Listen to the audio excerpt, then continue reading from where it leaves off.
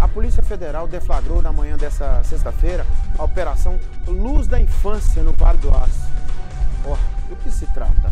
A ação está relacionada ao armazenamento e aquisição de conteúdo relacionado ao abuso sexual infanto-juvenil. É, o objetivo é cumprir uma ordem judicial. Gisele Ferreira tem os detalhes.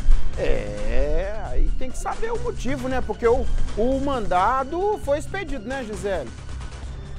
Nico, o mandado de busca e apreensão foi expedido pelo juiz da Vara Civil e Criminal de Ipatinga. Ele foi cumprido nesta sexta-feira em uma residência em Timóteo com o objetivo de obter novos elementos de prova que corroborem indícios já existentes de armazenamento e compartilhamento de conteúdos relacionados ao abuso sexual infanto-juvenil.